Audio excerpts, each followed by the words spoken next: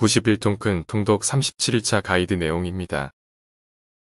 오늘 읽을 본문은 열왕기하 1장에서 12장입니다.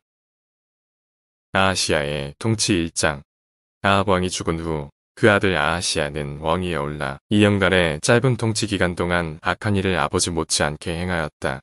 그는 다락 난간에서 떨어져 병들게 되자 에그론의 신 바알세부백에 그 병이 나을 수 있는지를 알아보도록 하였다. 그때 여호와의 사자가 엘리야에게 나타나 그가 죽을 것을 전하라고 하신다. 결국 그는 아들이 없이 죽고 그 영재인 여호람이 대신 왕이 된다. 엘리야의 승천 2장 엘리야의 죽음이 가까워 오자 그의 제자인 엘리사는 끝까지 따라다녔다. 그래서 엘리야가 엘리사에게 무엇을 구하느냐고 묻자 당신의 영감이 갑절이나 내게 있기를 구하나이다 고했다. 이렇게 끝까지 따른 엘리사는 특별한 능력을 받게 되고 엘리야의 후계자로서 큰 일을 하는 선지자가 된다. 엘리사는 엘리야의 승천 후 그의 후계자가 되어 돌아오는 도중에 여리고에서 물을 좋게 하고 대머리라고 조롱하는 아이들을 저주하자 두 마리의 곰이 숲에서 나와 아이들을 죽인다. 여호람의 모압 정벌 3장 아하시아의 뒤를 이어 왕이 된 여호람은 유다왕 여호사박과 에돔과 연합군을 형성하여 배신한 모압을 치러가는 도중 물을 얻지 못해 어려움을 겪지만 엘리사의 도움으로 물을 얻고 모압을 쳐서 승리한다. 엘리사의 기적들 4장 엘리사는 선지자의 생도의 아내 중 과부된 한 여인의 딱한 사정을 듣고 기름이 불어나게 하는 기적으로 도와주고 수냄 여인에게는 아들을 낳게 하는 축복과 그 아들이 죽자 살리는 기적을 일으킨다. 길갈에서는 독이 든 국의 해독 해독을 제거하고 보이떡 20개와 적은 양의 채소로 많은 사람들을 먹이는 기적을 베푼다. 나아만의 문둥병을 고침 5장 아람 왕의 군대 장관인 나아만이 요단강에 몸을 일곱 번 씻음으로 문둥병을 고침받았고 엘리사의 종인 게하시가 범죄함으로 문둥병에 걸린다. 물 위에 떠오른 도끼, 아람 침입을 예고 6장 엘리사는 물에 빠진 도끼를 떠오르게 하는 기적을 베풀고 아람의 침입을 여러 번 왕에게 미리 알려준다. 이로 인해 아람의 공격이 번번이 실패하자 아람 왕은 말과 병거와 많은 군사를 보내서 엘리사가 있는 도단을 에워싸게 했다. 사원이 이것을 보고 두려워하자 엘리사는 그의 눈을 열어보게 하므로 불말과 불병거가 산에 가득히 엘리사를 두르고 있는 것을 보게 된다. 반면 아람 군대의 눈을 멀게 하는 기적을 베푼다. 사마리아에는 기근이 들어 많은 참상이 벌어진다. 물가 폭락 예고 7장 아람의 포위로 물가가 급등한 사마리아 성의 물가가 하루 만에 폭락할 것을 예언하고 또한 그대로 이루어진다. 땅을 되찾은 수냄 여인 유다왕 여우람과 아하시아 8장 엘리사의 말에 따라 블레셋으로 가서 7년간의 기근을 피한 수냄 여인이 다시 돌아와 땅을 되찾는다.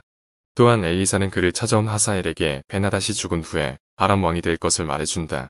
한편 이스라엘의 요람 왕 제5년의 여호람 요람 이유다의 왕이 되어 8년을 치게 하고 그의 사후에는 아하시아가 왕위에 올라 1년을 통치하였으나 하나님 보시기에 악을 행하였다. 기름 부음 받은 예후 요람 사례 아하시아 사례 9장 엘리사는 그의 생도 중 하나를 길레앗 나못으로 보내 예후에게 기름을 부어 이스라엘의 왕이 될 것을 예고한다. 예후는 이스라엘 왕 요람과 유다 왕 아하시아와 이세벨을 죽인다. 예후의 숙정 아합 아들들 사례 바알 숭배자 사례 10장 이어 예후는 아합의 70명의 아들과 아합 가문에 속한 사람을 모두 쳐 죽였다. 그리고 바알 숭배자들을 다 죽이고 이스라엘의 왕으로 28년을 통치하다가 죽는다. 아달리아의 섭정 11장 유다왕 아하시아의 모친 아달랴는 아들이 죽자 왕자들을 죽이고 왕위를 빼앗아 유다의 유일한 여왕이 되지만 제사장 여호야다에 의해 죽임을 당하고 요어스가 7살에 왕위에 오른다. 요어스의 통치, 성전을 수리, 아람의 침입 12장 유다왕 요아스는 제사장 여호야다가 가르쳐 준 대로 하여 여호와 보시기에 올바른 일을 하였다. 그리고 성전을 수리하는 등 선한 사업을 하였으나 아람 왕 하사엘의 침입을 받고 성전의 보물을 조금으로 바치는 불신앙적 모습을 보임으로써 신하들의 칼에 맞아 죽는 비참한 종말을 맞았다. 오늘의 통동 묵상입니다. 열왕기하는 아하시아가 이스라엘에 살아계신 하나님을 뒷전으로 하고 에그론의 신 바알 세복을 의지하고 찾아가 묻는 장면부터 시작됩니다. 혹시 우리 가운데도 천지를 만드신 하나님보다 세상의 신을 더 의지하는 경향은 없습니까? 우리가 연약할 때 가장 가까이 도우시는 하나님의 능력을 온전히 의지하십시오. 열왕기하는 엘리야가 승천하면서 그 선지자 자리를 엘리사에게 임계하는 것으로부터 시작됩니다. 하나님을 엘리사의 기적을 통해 당시 백성을 돌보십니다. 엘리사는 아무 기록도 남기지 않은 행동의 선지자였지만 많은 주변 국가의 왕들은 그가 외치는 이야기를 경청했습니다. 엘리사는 엘리야를 떠나지 않겠다고 고백합니다. 뿐만 아니라 엘리야가 가는 곳마다 따라다녔습니다. 제자는 따르는 자입니다. 우리는 주님의 제자입니다. 어떤 환경 속에서라도 주님을 떠나지 않고 따르는 우리가 되어야겠습니다. 엘리사는 엘리야에게 갑절의 영감을 구합니다. 말세가 될수록 그리스도인은 주의 사명을 위해 주의 권능이 전적으로 필요합니다. 그렇기 때문에 사슴이 신의 물을 찾듯이 주의 능력을 사모하십시오. 엘리사가 베델로 올라다는 길에 작은 아이들이 성읍에서 나와 그를 조롱합니다. 그 결과 여호와의 이름으로 저주를 하여 암궁 두 마리에게 42명이 죽임을 당합니다. 혹시 우리 역시 주의 종들을 비난하고 판단하는 일에 급급하여 그들을 위해 기도하고 연약함을 세워줘야 할 사명은 잊어버리지는 않는지 점검해 보시기 바랍니다. 기억하십시오. 항상 남의 뒤를 보기 이전에 나의 들보를 보실 있는 지혜가 있기를 소망합니다. 선지자의 제자 중에 한 아내가 빚이 많아 어려움을 겪는 있을 때 엘리사의 말씀을 듣고 순종함으로 그 모든 빚이 해결되었습니다. 나는 어떻습니까? 순종할 준비가 되어 있습니까? 무엇보다 하나님의 은혜를 받을 많은 그릇이 준비되어 있습니까? 아무리 상식을 뛰어넘는다 할지라도 오늘 하루 준비된 그릇을 통해 하나님이 주시는 은혜를 마음껏 채우는 은혜가 있기를 소망합니다. 엘리사를 잘 섬기던 수네명인을 위해 기도하여 아이를 잉태하게 합니다. 그런데 그 아이가 죽어 극한 슬픔 가운데 빠지게 됩니다. 그 슬픔을 가지고 하나님의 사람에게 나아오는데 개하시는 그것을 보고 물리치려 합니다. 혹시 우리의 모습은 어떠합니까? 아픔을 위로하기보다 오히려 상처에 상처를 더하고 있지는 않습니까? 사마리아 사람처럼 어려움에 빠진 지체를 돌아보는 은혜가 있기를 소망합니다. 엘리사가 극한 흉년 중의 제자들을 위해 국을 끓였는데 독이 있어 먹지 못하게 되었습니다. 그때 가루를 가져다가 던져 넣고 독을 중화시킵니다. 독은 제거되어야 합니다. 우리 신앙 가운데 퍼진 독소가 있다면 반드시 제거해야 합니다. 죄에 대해서 방심하지 마십시오. 주님을 의지하며 십자가의 현장으로 나아가십시오. 가장 무서운 독은 율피의 잠식이 아니라 바로 영혼의 잠식이 가장 무서운 죄입니다. 나아만은 작은 계집 아이를 통해서 엘리사를 만나게 됩니다. 그런데 문제는 그의 문둥병보다 그의 교만이 더 문제였습니다. 교만한 심령을 가지고 있는 동안은 엘리사의 말씀을 받지 않습니다. 그러나 그가 겸손히 말씀 앞에 순종할 때 낳는 기적을 경험합니다. 기억하십시오. 교만한 자는 사용하지 않으십니다. 하나님의 기적은 순종함을 통해 이루어진다는 사실 또한 기억하시길 바랍니다. 기적 후 개하시는 나아만 장굴이 준비한 뇌물을 탐하고 취하는 죄로 인해 나병이 걸리게 됩니다. 하나님 보시기에 원치 않는 물질은 탐하지 마십시오. 기억하십시오. 물질과 하나님을 겸하여 섬길 수 없습니다. 부당한 것을 취함으로 인해 자신의 영을 해치는 일이 없기를 소망합니다. 한 장관이 엘리사를 통해 전한 말씀을 들음에도 믿지 않았습니다. 그는 여호와께서 하늘의 창을 내신들 어찌 이런 일이 있으리요 라며 하나님의 말씀을 믿지 않습니다.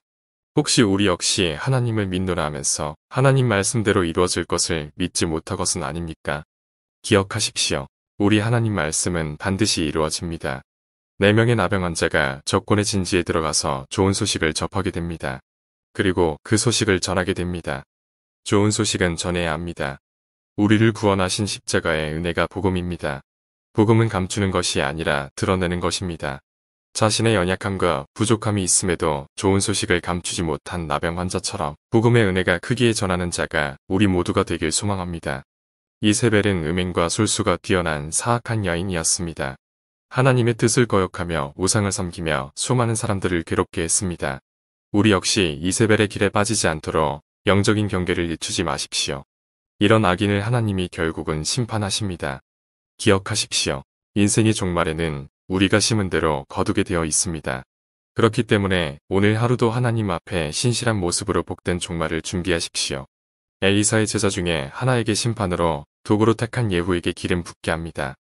기름 부음을 받은 예후는 이스라엘로 가서 북왕국 요람 왕을 죽이고 문병차와 있던 남 왕국의 아하시아 왕도 죽입니다. 하나님은 이렇게 함으로 우상 숭배의 열심을 내던 아합 왕조를 심판하십니다. 남 왕국은 아하시아 왕이 죽자 어머니이자 이세벨의 딸인 아달랴가 더윗 왕조의 씨를 다 죽이고 왕이 됩니다. 그러나 하나님은 아하시아의 아들 중 하나인 요어스를 구해내서 다윗 왕조를 이어가게 하십니다. 그런 요아스가 여호야다의 지도 하에 선정을 베풀고 아달랴의 통치 가운데 부서진 성전을 수리합니다. 그러나 요호야다가 죽은 후에 다시 우상을 섬겨 하나님의 징계로 아람 왕 하사엘의 침공을 받습니다. 그럼에도 하나님을 찾는 것이 아니라 하나님의 전과 왕궁의 보물을 보내어 해결하려고 합니다. 그 결과 자기의 신복인 요사갈과 여호사바드의 손에 죽게 됩니다. 기억하십시오. 여호스는 위대한 업적을 이루는 왕이지만 그가 하나님의 말씀을 떠날 때 범죄하게 되고 그렇게 될 때 하나님의 징계가 임한다는 사실을 말입니다. 그렇기 때문에 오늘 하루도 말씀과 함께하는 삶을 포기하지 마십시오. 늘 말씀 앞에 우리 모습을 점검하고 오늘 하루도 성도로 승리하길 기도합니다. 말씀이 삶이 되는 하루를 살기 위한 적용입니다. 다른 사람의 죄는 지적하고 판단하면서 나는 그 죄 가운데 머물러 있는 부분은 없는지 자신을 하나님 앞에서 성찰해 보십시오. 그리고 그것을 하나님 앞에 회개하는 시간을 가지십시오. 여기까지가 91통 큰 통독 37일차 가이드 내용이었습니다.